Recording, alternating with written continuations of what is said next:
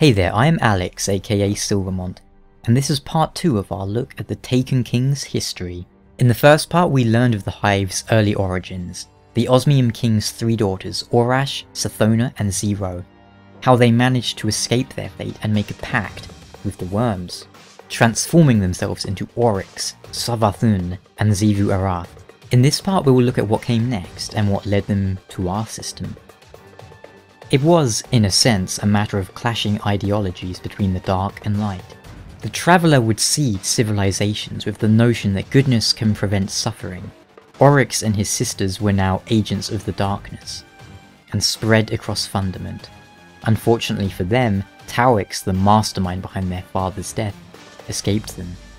But it was around this time that they discovered the 53rd moon in orbit of Fundament, the Traveller, and it was their thinking that the Traveller must be the one who had planned the God Wave, an immense tidal wave caused by the alignment of Fundament's moons, wiping out all life therein. But the newborn hive was not unstoppable. As a matter of fact, they met with many defeats, ostensibly caused by Oryx himself, the king who clung to ideals such as peace and stability, cancers, words the Traveller used to bind its slaves. The Hive were being crushed by a race known as the Ammonites.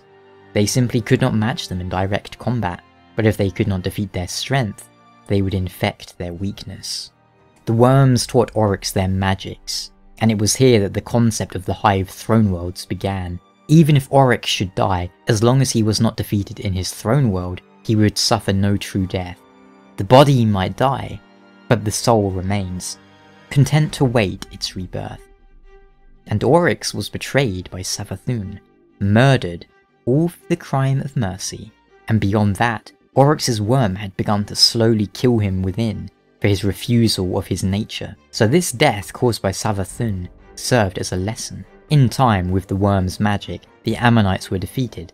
The Leviathan killed and the Traveller itself fled, Tauix along with it. And after this victory, the worms revealed much. They were not the darkness, they merely moved through it, and they revealed their disgust with the Traveller. Safety and peace were regressive traits. Only through suffering could sentient life be worthy of existence. To never advance, to be satisfied with what was, and never think about what could be. That was the worm's disgust.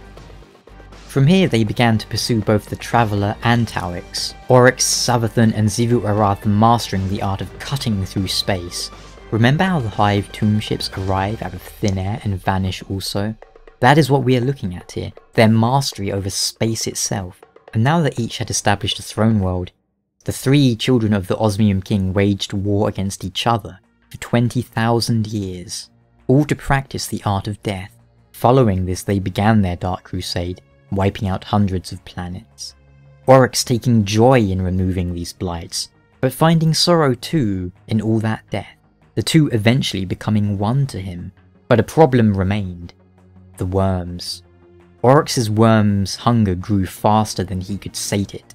He could exterminate an entire world, but the worm would then hunger for two. Should he destroy two, that hunger would rise to four, and so on. Eventually, of course, the worm's hunger would be too great to satiate, and Oryx would be devoured. On top of this, the Hive met their match in the Ecumene, a race that had found Tauix, floating in space. And in Tauix they found the weakness of the Hive.